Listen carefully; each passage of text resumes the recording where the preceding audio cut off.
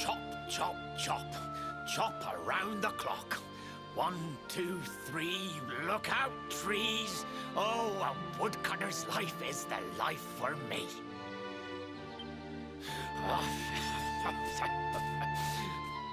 what in the world? I repaired the bridge only yesterday, and now some blighter's gone and destroyed it again. If I ever find out who did this, I swear I'll... Ta-da! You called? Tricky devil at your service. I went to a lot of trouble to smash at this stupid bridge. I'm not about to let you fix it again. Here, get a load of my devilishly tricky shapeshift beam.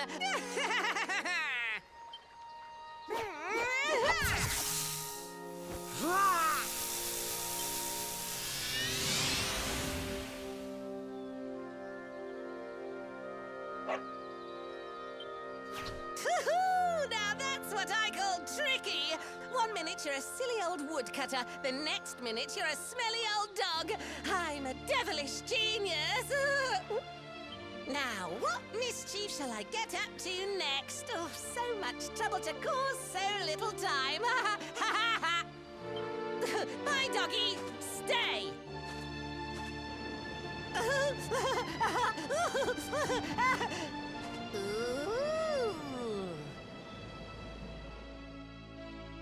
An empty treasure chest. I think I've just hit upon my most devilish trick yet.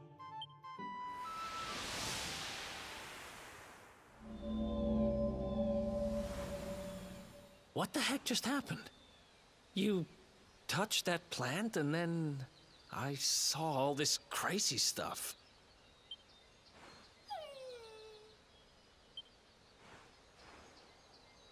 You really expect me to believe that this mutt here is actually the woodcutter?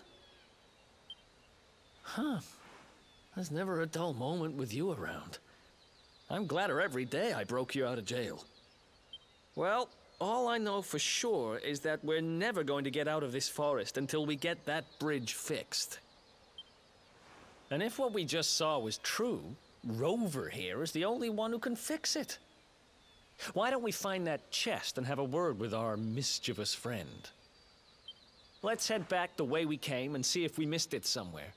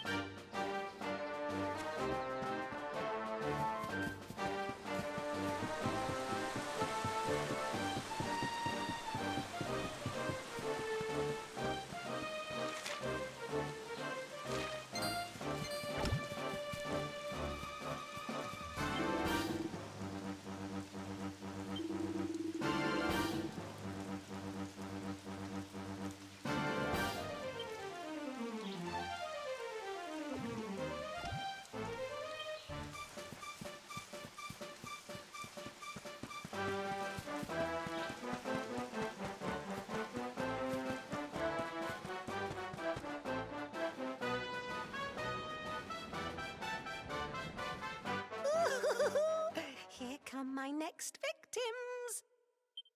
Ta-da! Introducing the one, the only, Tricky Devil! Uh, hi. Hey, you're supposed to be shocked by my devilish trickiness. No? Time for plan B then. Take this! Ha!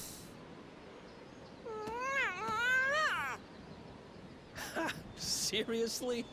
The only thing I'm shocked by is how lame you are. What did you just... Oh, cheeky devil! Don't you know who I am? I'll teach you. For my next trick, I'm gonna beat you to a pulp!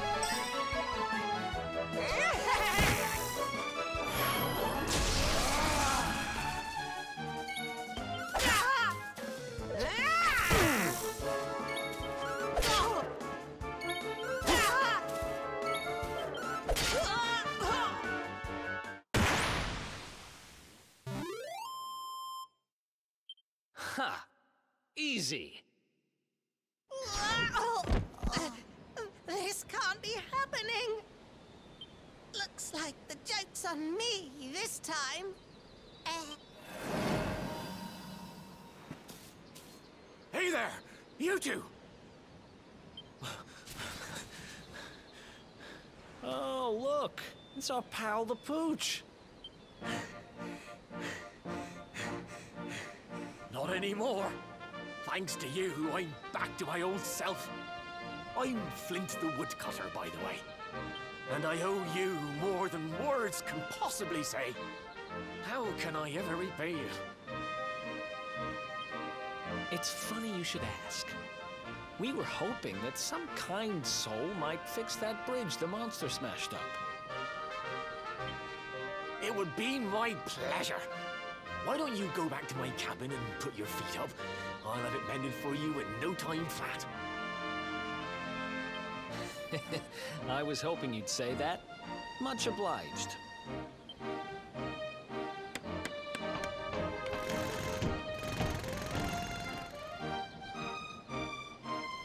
Sorry to have kept you waiting, but I'm happy to announce that the bridge is fixed. In fact, it's even sturdier than ever.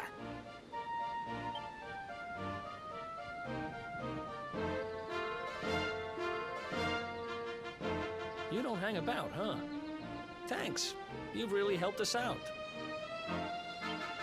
Now, young fellow, about this vision of me being turned into a dog you saw when you touched that glowing plant. The more I think about it, the more certain I am. What you experienced can only have been the guidance of Yggdrasil. Um, does that mean anything to you? It's something my dear old granddad told me about when I was a boy. Yggdrasil is the giant floating tree at the center of our world, of course. The source of all life, as some call it.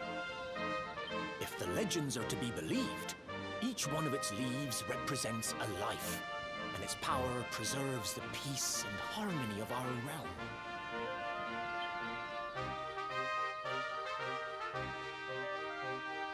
Glowing plant you found in the forest is actually a part of Yggdrasil, a piece of root poking through from beneath.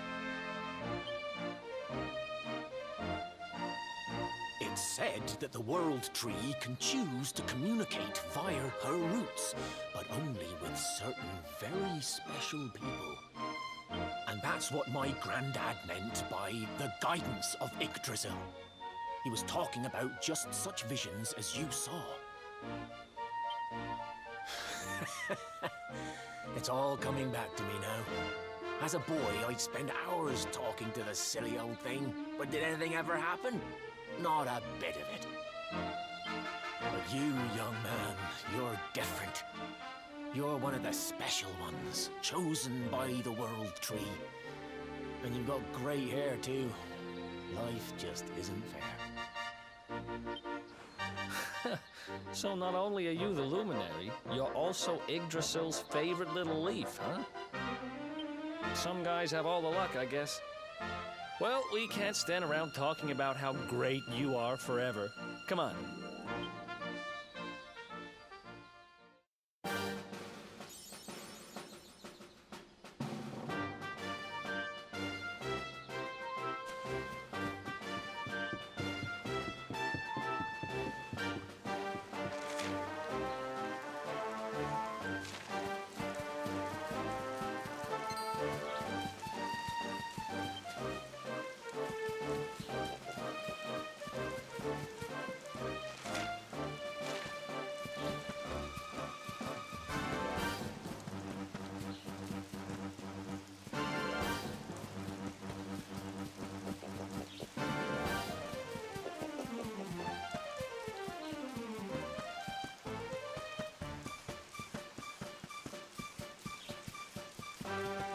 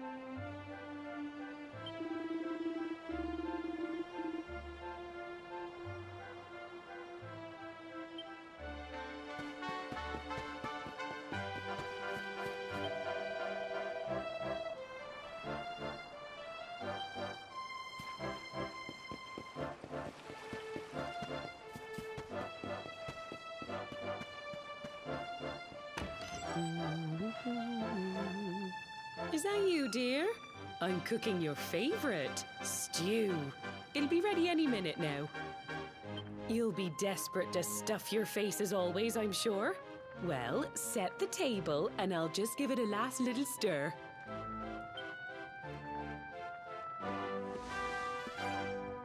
Whoa! Who are you? And what are you doing in my house?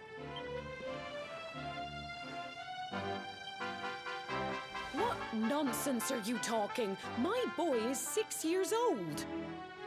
Who do you think you are, waltzing in here and claiming to be someone you're not? Whoever you are, I want you out of my house this instant. Don't make me say it twice.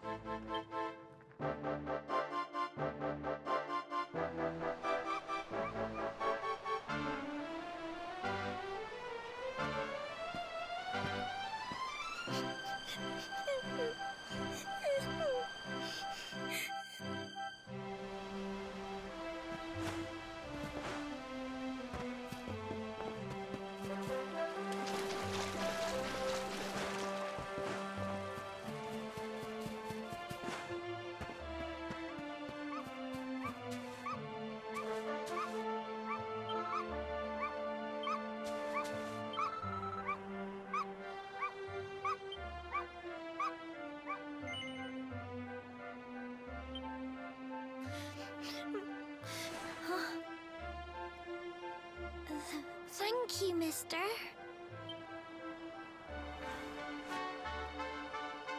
My name's Gemma. Who are you? But that can't be right. Oh, wait, I get it. That's not your name. You mean you're looking for him, right? He went to look for Chalky. Come on, follow me. Ha ha ha.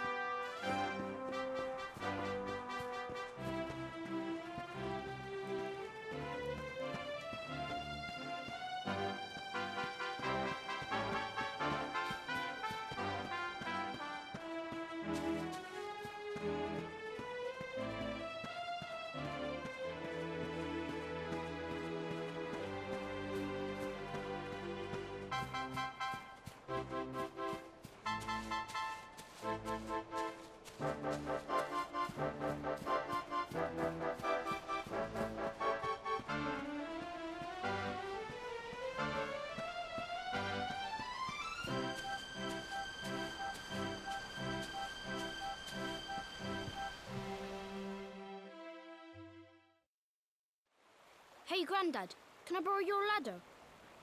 The wind blew Gemma's scarf off and now it's stuck up a tree.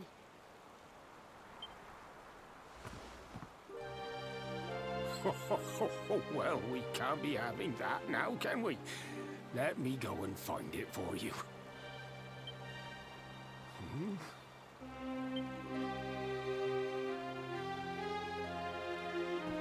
We don't need the ladder anymore. That nice man over there got my headscarf down for me. He said he was looking for you. Is he a friend of yours? Nope. I've never even seen him before. I think it might be me he's looking for, you know. Why don't you two run along and play and leave us grown-ups to talk?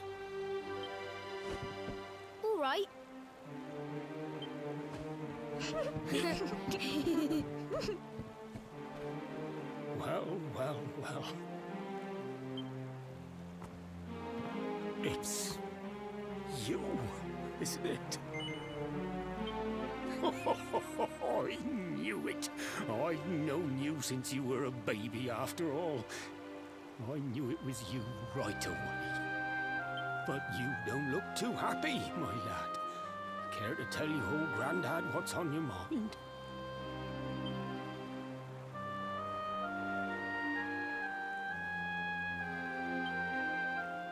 I see. So, you're from a future where I'm no longer around. Well, well. And King Carnelian went and threw you in the dungeon? And to think I trusted that he'd do right by you. If I'd known how things were going to turn out, I would have told you everything instead of hiding the truth from you for all those years. But you don't have time to be listening to an old man's regrets. Here's what we're going to do. If you head east out of the village, you'll come to Cobblestone Falls, as you know. Go there and dig in front of the three-sided rock. Got that? Hmm? The three-sided rock at Cobblestone Falls. You'll know the one I mean.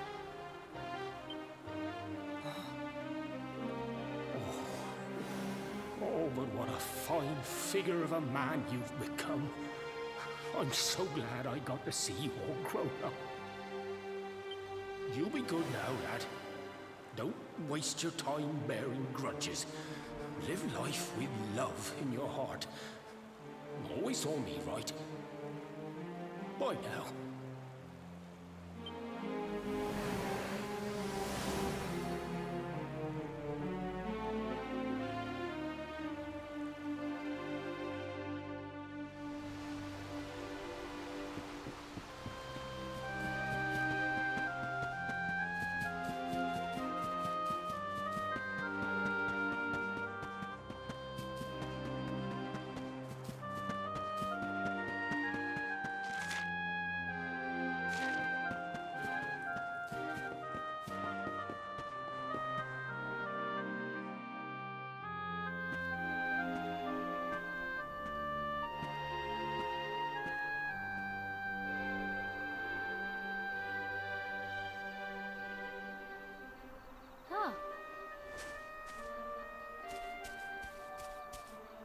Thanks for getting Gemma's headscarf back for her. Come back and play any time you like.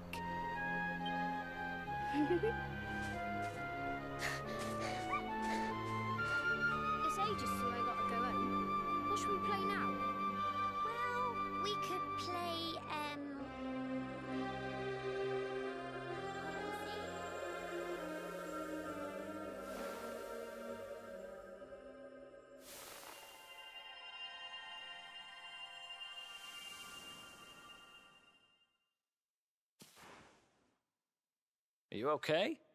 I lost you for a minute there. Not surprising, I guess.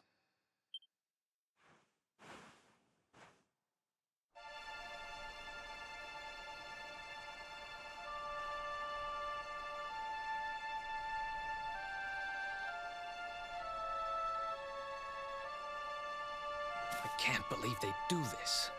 And just because you grew up here? What kind of animals are they? Jasper and his goons must have ridden straight here after you got thrown in the dungeons and torched the place. Hey, just now, when you zoned out, the mark on your hand was glowing, and so was the root wrapped around that tree. Was it another one of those visions?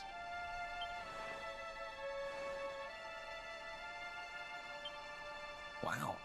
So you you went back in time and spoke with your granddad and and yourself? That is seriously weird. must have been the root here. It must have the power to show you the past. Well, if what your granddad told you was right, then we need to head over to Cobblestone Falls. Where did you say it was? East of the village?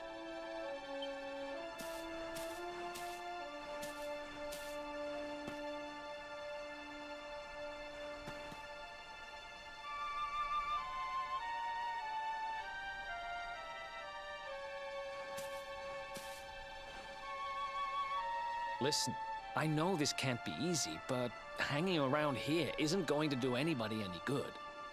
Come on.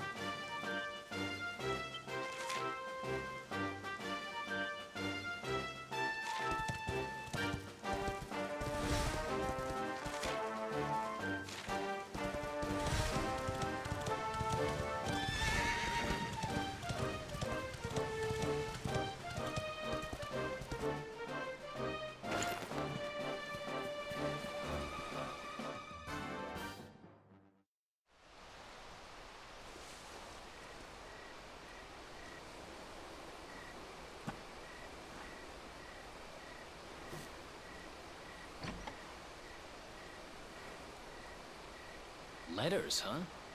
The top one there's seen better days, that's for sure.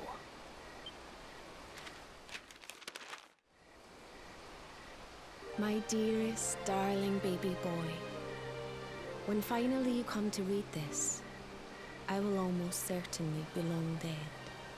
You see, not long after you were born, our beloved kingdom of Dundrasil was attacked by an army of monsters. I was forced to flee with you in my arms and expended the last of my strength in ensuring that you escaped to safety. If you are fortunate enough to have been found by some kindly soul, you must seek out the King of Heliodor when you come of age. Our kingdom and his have long enjoyed close relations, and your father and I would trust him with our lives. Never forget, my son, you are a prince of the kingdom of Dundrasil. But more than that, you are the luminary. Yours is a weighty burden indeed. It is you who must stand against the darkness and banish it from our world. In time, you will come to understand. It breaks my heart to leave you, my darling. But it is the only way. I only hope that one day you will learn to forgive me. It's from someone important to you, right? Your mother or something? Don't worry, you can tell me about it later. What about the other one?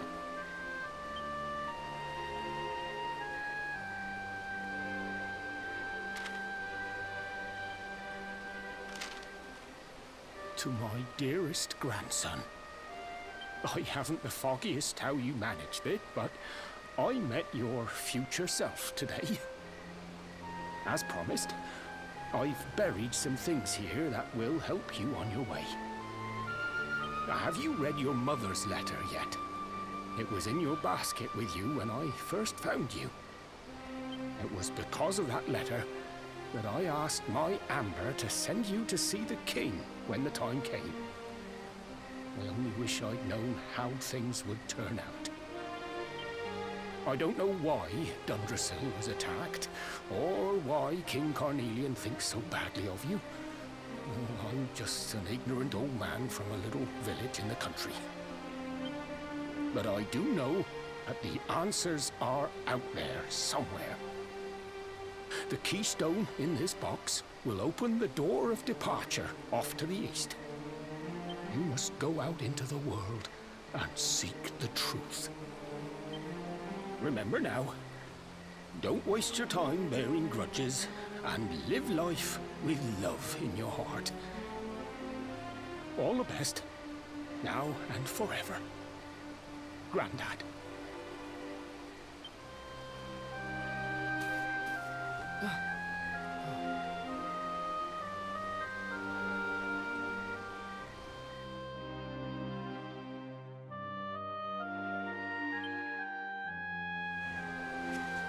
So we use the keystone to open the door of departure and head out into the world, huh? Well, sounds easy enough. You better believe I'm coming with you. You said it was just east of here, right? Well, what are we waiting for? Oh, I know what we're waiting for. I've got some unfinished business to attend to. The orb. The King's Barrow's not too far from here. Just down the way, in fact. Let's go claim what's rightfully mine.